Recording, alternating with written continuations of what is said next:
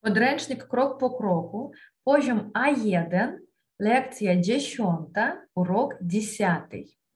Новое слово, новые слова. Увельбяч – обожать. Я обожаю увельбям. Замавяч – замувич. Замавяч – заказывать. Замувич – заказать. Я заказываю, замавям. Я закажу, замувя запеканка, компот, запеканка, компот, coś dobrze brzmi, что-то хорошо звучит. Część А. Запрашиваем вас на обед. Приглашаю вас на обед. И в упражнении 1 нам нужно а, из предложенных фраз а, составить диалог. Анджела ма уроджины, у Анджели день рождения, запросила колегов на обед, teraz dzwoni до реставрации на Казимежу и резервует столик. Она пригласила друзей на обед. Сейчас она звонит в ресторан, который находится на Казимежу, и бронирует столик, резервирует столик, заказывает. День добрый. Ту реставрация у Дороты. Слухом. Добрый день. Здесь ресторан у Дороты, то есть это ресторан Дороты. Слушаю. Dzień dobry, добрый день. Chciałabym zarezerwować stolik dla czterech osób na jutro na godzinę 16. Я хотела бы забронировать столик для четырех особ на завтра на 4 часа, на 16 часов. Nie ma problemu. Na jakie nazwisko? Хорошо, нет проблемы. На какую фамилию? Браун, Анджела Браун. Резервація є готова. Чекаємо на панство jutro. Ваш столик зарезервирован, то есть резервация готова уже, бронь готова. Ждем вас завтра. Дякую, до відзення. Прошу, до відзення. Спасибо, до свидания, пожалуйста, до свидания. И здесь такой момент. Резервация – это бронирование чего-то. И когда мы говорим, что у меня что-то зарезервировано, мы скажем «мам резервация», то есть у меня есть бронь какая-то. И мы ни в коем случае не говорим «мам бронь», потому что бронь переводится как пистолет, оружие. Если мы скажем, что «мам бронь», значит у меня какое-то оружие и вызовут полицию. Только резервация. «Мам цо», «мам резервация». И второй диалог почитаем. Реставрація у Дороти, улиця Мьодова, 25, Пьонтек, Анжела, мамі, Хав'єр и Уве входом до реставрации. Ресторан у Дороты на улице Медовой, 25, Пятница. Анжела, маме, Хавьер и Уве входят в ресторан. То есть они уже пошли праздновать ее день рождения. День добрый, мамы резервация на година 16. Добрый день, у нас бронь, да, у нас зарезервировано место на 16 часов. День добрый, на яке назвиску есть резервация. Добрый день, на какую фамилию? Браун. Ах так, прошу, то есть панство столик, зараз подам карты. Ах да, пожалуйста, это ваш столик, сейчас принесу, сейчас подам меню. Дзенькуемы, благодарим, спасибо. Итак, принесли нашей компании меню. И что же у нас может быть в меню? Зупы, супы. Например, барщ соло, барщ с яйком, барщ с ушками, то есть какой-то борщ с яйцом, с ушки, такие из теста сделаны, типа клёцок. Крупник, журек. Журек – национальный польский суп на основе такого закваса из муки. Очень часто он подается в хлебушке прямо. Зупа огуркова, рассольник, зупа помидорова, томатный суп, зупа грибова с грибочками и росу с макароном, то есть бульон с макарончиками. Даня обядовая, обеденные блюда. Могут быть мясные, менсные, рыбные, рыбные и могут быть вегетарианские, вегетарианские собственно, можно ознакомиться, что у нас здесь может быть необычного. Котлет мелоны – это обычная котлетка. Котлет с хабовы – это отбивная. Бигос – национальное польское блюдо, также из капусты, с фасолью может быть, может быть с черносливом, может быть с грибами, может быть с мясом. Голомбки, голубцы, а, название рыб, пироги мы уже знаем, что это варенички, наличники, блинчики, Плацки – это оладушки, то есть плацки земнячаны, то есть дранички. А также могут быть в меню додатки, это гарниры. Тут вроде у нас как все знакомое. Рыж, фрытки, картошечка фри, жемняки, картошечка, каша, сурувки. То есть какой-то салат из сырых овощей. Могут быть в меню также напои, напитки. И переходим дальше и почитаем диалог и переведем. Кальнерка, официантка. Co podać? Что подать? Что принести? А co może нам пани полечить? А что может нам пани порекомендовать? Есть смачный росу и журек. Полецам теж бигос. Есть вкусный бульон и журик суп. И также порекомендую бигос. Хм. То я попрошу росу, може филет дробьовый с гриля, жемняки и сурувка с кишеной капусты. Хм.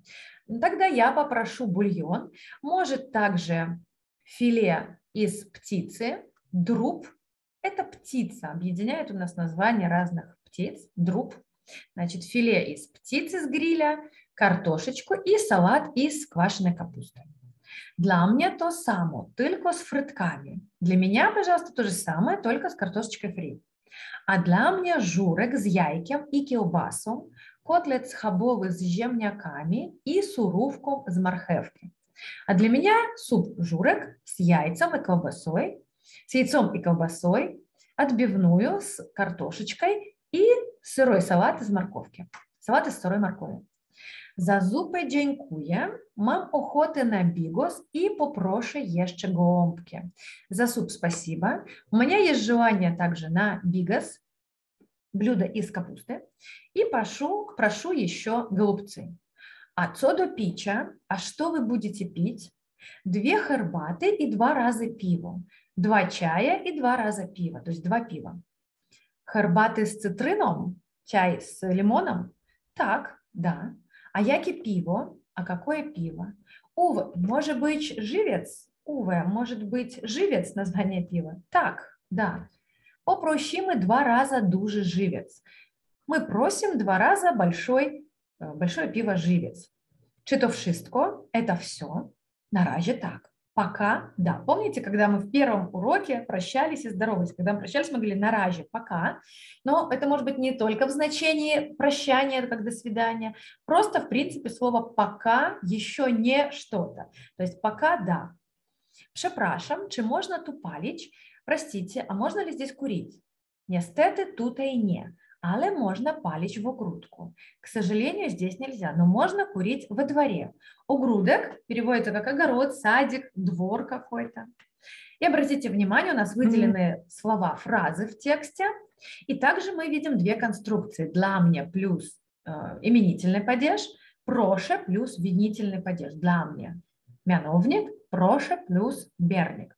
То есть когда мы, мы говорим «для меня что-то там», то мы без изменения оставляем слова. Когда мы говорим «пожалуйста, прошу что-то», то здесь уже у нас появляются другие окончания, как в винительном э, падеже. Давайте примеры прочтем.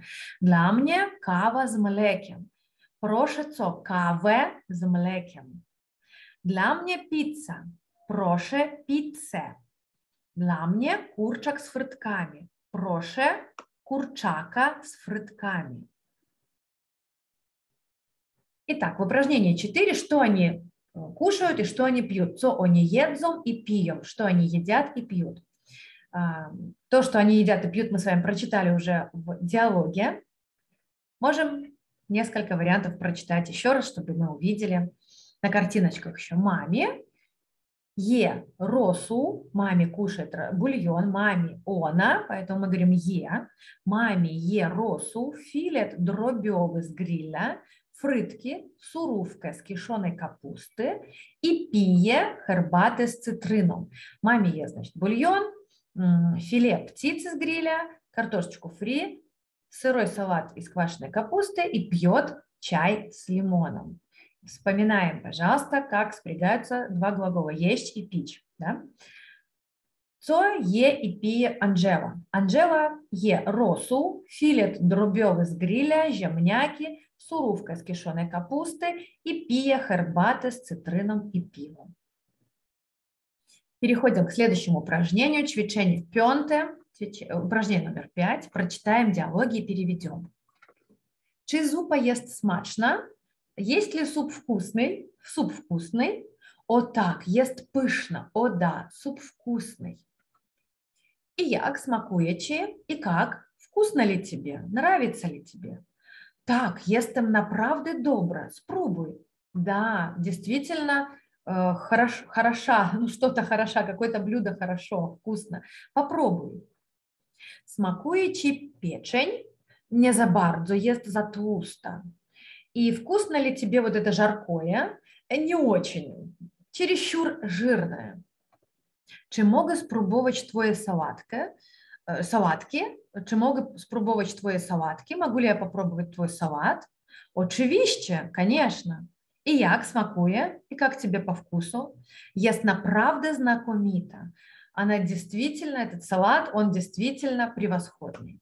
Итак, когда мы что-то пробуем, мы можем выразить свои эмоции. Нам нравится или нам не нравится, или ну так себе, что-то посерединке. Так вот, если нам нравится, мы можем сказать знакомитый, превосходный.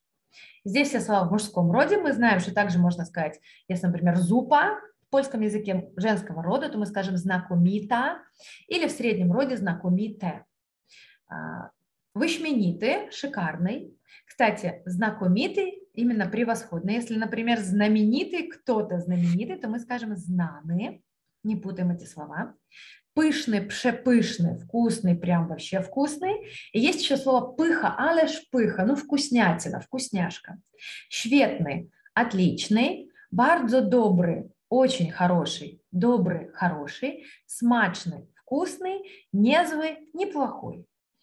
Если мы посерединке не определились, что вкусно, невкусно, или ну так себе, мы так и скажем, так и себе, такой себе. Не сбыт смачный, не слишком вкусный, не за bardzo, не очень, в сам раз, в самый раз. Если мне нравится, мы можем сказать недобрый, нехороший, окропный, ужасный, без смаку, безвкусный, кепский, злый, плохой. И почитаем в шестом упражнении коротенькие диаложки – Javier, czy twój rosół jest smaczny? Так, jest bardzo dobry. Javier, твой рассол вкусный? Да, очень хороший. Як смакує чи рыба? Как тебе по вкусу рыба? Niestety не за bardzo. К сожалению, не очень. Для чего? Почему? Ест заслона. Она слишком чересчур соленая. Итак, какой у нас может быть вкус? Какие могут быть вкусы? Яки? Какой? Толстый, худо. Не обязательно вкус, но вообще вот какая-то, а, как мы можем выразить свои ощущения после того, как мы что-то попробовали. Толстый, худый, жирный, нежирный. Моцный, лагодный, крепкий, нежный. Острый, острый, квашный, квашный такой кислый, сладкий, гошки, сладкий, горький, соный, соленый, а, суровый, сырой, теплый, холодный, теплый, прохладный, зимний горонцы, холодный, горячий. Ćwiczenie номер 7, co oni mówią. В упражнении 7 у нас нарисованы картиночки. Нам надо придумать по картиночкам, что они друг другу говорят. Например, смотрим первую картиночку. Пара входит в ресторан, официант их встречает. Что они могут говорить? Клиент. Добрый вечер, чи есть вольный столик? Добрый вечер, есть ли свободный столик? Добрый вечер, панство. Так, сом вольные столики запрошаемы. Приветствую вас. Да, есть свободные столики, приглашаем. Рассматриваем вторую картиночку. Официант говорит, проше бардзо, ту есть карта. Пожалуйста, здесь вот меню. Подает меню и говорит, ту есть карта. Вот меню. Что может нам пан полечить? Что может нам пан порекомендовать?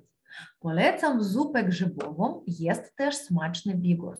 Я вам порекомендую грибной суп, и есть также вкусный бигос. Dziękujemy bardzo, хвилечка. Большое спасибо. Минуточку. Когда мы просим о чем-то подумать, мы можем сказать проше хвилечка, там, минуточку. Смотрим третью картиночку. Co podać? Что вам принести? Что вам подать? Dla mnie zupa grzybowa i warzywa z ryżem. Jaką sałatkę pan poleca? Для меня, пожалуйста, грибной суп и овощи с рисом. Помним эти конструкции для мне. И здесь именительный падеж зупа, гжибова, важива с рыжем. То есть без изменения остаются слова. Какой салат пан порекомендует? Есть bardzo добра сурувка с белой капусты. Есть очень хороший салат из капусты. В таком разе попрошу те сурувка. В таком случае я попрошу этот салат. Если попрошу, значит дальше у нас идет берник, винительный падеж, и мы изменяем окончание те сурувка. А то для пана? А что для пана? Для меня росу, котлет с земняками и салатка фирмова. То есть для меня, и опять же без изменения слова, именительный падеж, бульон, а, котлету с картошечкой и фирменный салат. Czy podać coś do picia, что-то подать пить, проше негазованном воды минеральном залоде. После проше у нас идет винительный падеж, поэтому изменяем окончание. А, попрошу негазированную минеральную воду со льдом. А для mnie gorącą herbatę, a dla mnie, przepraszam, gorąca herbata. Czy to wszystko? На разе так. Для меня, пожалуйста, горячий чай. Это все пока да. І последня картиночка, розплачуємося. Чи можемо просить о рахунок? Можем попросить счет. И помним, что если мы в польском языке просим о что-то, просить о coś, то всегда будет с предлогом о. Просить о рахунок, просить о счет. Proszę bardzo, пожалуйста. Czy można płacić kartą? Можно ли платить картой? Так, oczywiście. Да, конечно. Рассмотрим следующее упражнение, номер 8. У нас здесь нарисованы разные а, таблички, на них что-то написано. Давайте разберемся, что же они все обозначают. Первая табличка. Здесь уже понятно, что а, молодым людям до 18 лет алкоголь не продается. Здесь у нас написано, а, что, что нельзя курить, то, что нельзя приходить с собаками. Да? Зврот начинь, начиня посуда, то есть возврат посуды. И показано место, куда нужно возвращать. Например, столовое или какое-то самообслуживание. И мы сюда самостоятельно ставим посуду. Зворот начали, возврат посуды. Wi-Fi, самообслуга, самообслуга, то есть мы сами, сами себя обслуживаем. Нема кальнера, мусишь замавить пши бажи, самообслуга. То есть нет официанта, тебе нужно заказывать, например, идти в бар. Называется самообслуживание. Pieniądze, które zostawiasz для кальнера, напивок. Деньги, которые оставляешь для официанта, называются напивок. У нас называется чаевые на чай, в польском языке напивок на пиво. Ту невольно палить, заказ паления. Здесь не можно курить, нельзя курить, заказ, запрет курения. То место есть заенто, резервация. Это место занято, то есть забронировано уже. Czynne od 10 до 21 godziny otwarcia. Czynne, то есть открыто, работает с 10 до 21, то есть часы открытости, часы, когда открыто какое-то заведение. Не платить картом кредитовым, платить готовку. Когда мы не платим кредитной карточкой, мы платим наличкой. Готовка, наличка. То есть вот уже есть готовые деньги, мы их достаем, платим. Готовка, наличка. Tu musisz oddać brudne naczynia, zwrот naczyń. Здесь ты должен отдать грязную посуду. Спеціальна оферта в меню актуальна только один день. Дання дня. Какое-то блюдо дня, которое актуально, то есть специальное предложение в меню, которое актуально только один день. Это блюдо дня. Домашнее задание. Почитайте, пожалуйста, еще раз предложение, что это значит. Почитайте, пожалуйста, диалоги. Также а, новые слова, если здесь какие-то появились для вас, на них им уделяем особое внимание. Слова, как мы можем выразить наш вкус, понравилось, не понравилось, так себе. Также почитайте, пожалуйста, диалог вслух. Запоминаем две конструкции. Для мне, мяновник идет, слова без изменений. Проше, берник, дальше идет винительный падеж. Ставим нужные окончания. А, смотрим в меню.